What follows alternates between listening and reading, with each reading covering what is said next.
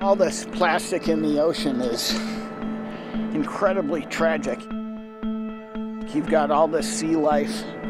You've got plankton eaters like mantas that have to navigate through it and potentially ingest it. And it's getting into the food chain.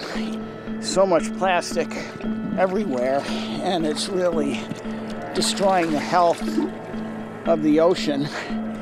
And all of us need to do something about it.